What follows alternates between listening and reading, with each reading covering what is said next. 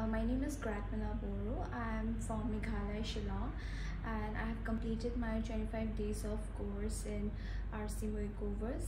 Uh, I'm very uh, grateful to ma'am that you know she helped us a lot uh, in uh, teaching us. She was very patient with us, and and I'm really glad I came here. I chose this institution at the last moment. Even after doing like so much research, I couldn't find anything good. But after coming here, I felt that I made the right decision by choosing RC Makeovers.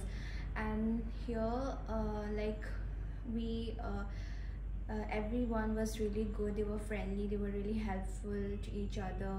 Even ma'am like she's really helpful. Uh, you know she helped everyone individually. So uh, yes i'm very much thankful to ma'am. Thank you so much ma'am. Thank you. Being a teacher she's a very good person in and out.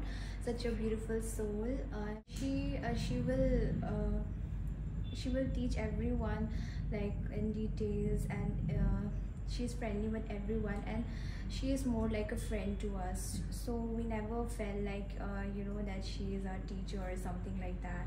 She's a very good person. We re- i really enjoyed uh, working with her like and i'm just thankful to her and i made a really good decision by coming here. Thank you so much ma'am. Role play was really helpful what we did here. It really helped me a lot because uh, here in class uh, like we won't uh, know what's the real scenario what exactly happens when we uh, you know do uh, like when we uh, go to the client's place and we do their makeup also the whole thing is really different in real life. So yeah the role play was really helpful because uh, you know uh, because we are definitely going to face that kind of challenges whenever we uh, we go uh, to do to do the makeup. So yeah it really helped me a lot and it was very informative.